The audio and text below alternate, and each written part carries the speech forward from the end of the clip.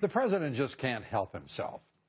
Uh, the Washington Post uh, fact checker giving President Obama three Pinocchios uh, for claiming Saturday that Republicans in Congress have, quote, blocked every serious idea to strengthen the middle class.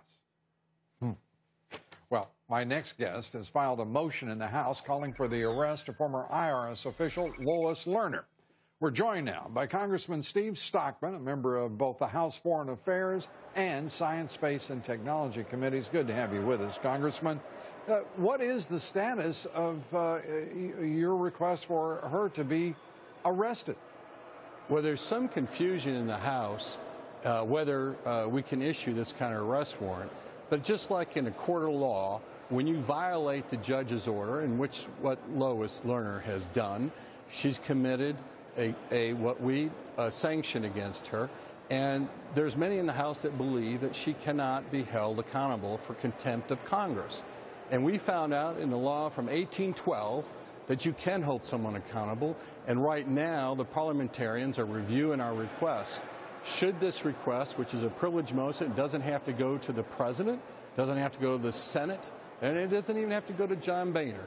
It goes to the floor for a vote, and if we get 217, she then arrest warrant is issued, and she is picked up and put in jail. Now she can avoid this if she cooperates, like she did with the Justice Department, and talking to us about what's going on. This is not a, a, uh, item which she can uh, say, well, she's going to jail regardless. She can control her own fate should she choose to start cooperating with Congress.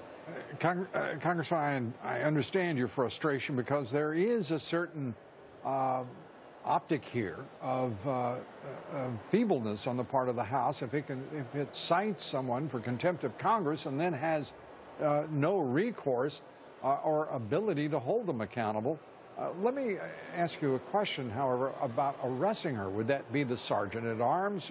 who would have that authority based on the, uh, the arrest warrant that would issue. Now, mind you, we researched back to 1812 mm-hmm. uh, this law, and as we understand it, it would be the sergeant of arms can actually issue the arrest warrant, and then others could pick her up. Now, that is the case that, we, as we understand it right now, and they would hold her in a jail near D.C. if she chooses not to cooperate. And that is the current status as I understand it. And if we, if we get back positive results, we're going to bring it to the floor. And I want to see some Democrats to stand on the floor and defend what she has done.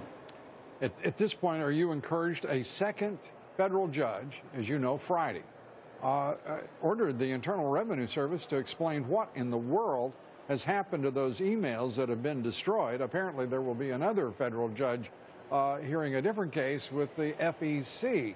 This is a series of striking coincidences but it is also must be encouraging to you and to the House uh, and all who want the answers here uh, that two judges are saying to the IRS, it is now time to explain yourself.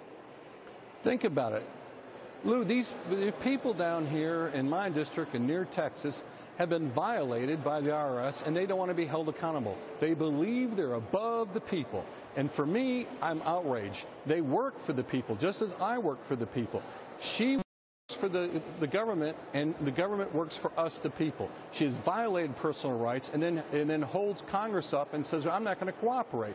If we allow this to go on and don't act, then in the future, everybody will lie to Congress because they know we're, we're a dog with no teeth. Congressman, we appreciate you being with us, and, and thank you so much.